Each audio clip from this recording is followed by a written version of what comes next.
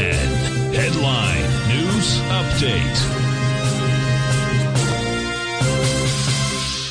Good morning, folks. Steve Rhodes coming to you live from the shores of very pleasant Delray Beach, Florida.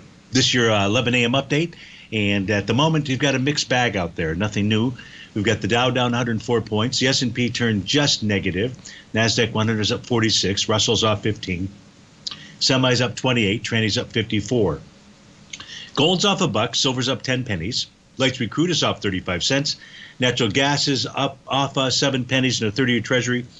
Print out at 119.23. That's up 12 ticks. Let's try to figure out what all that means by looking at that nine panel market update chart. We begin with the ES Mini upper left hand side. On Friday, uh, the ES Mini generated a, a, bull sash candle that confirmed a buy the D point pattern.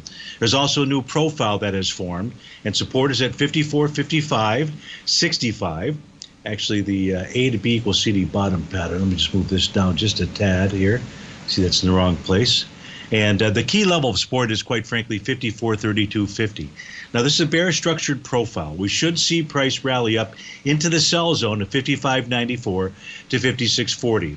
That state would be easier to, to um, come to fruition if we continue to see the spot volatility fall. Right now, it's above its 50-day exponential moving average. So 50 days at 14 bucks. We're trading at 1707. But on Friday, the rate of change to the downside was below minus 10%. That's typically an initiation move to higher price for the S&P 500. You've got that by the D point pattern, as I say, that formed on uh, Friday. If we take a look at the NQ, we did not get a bottoming pattern, and it is trying to form a new profile that is above price. That's a bearish signal. That doesn't mean that price won't rally into 19,522 or higher, 19,522 being resistance.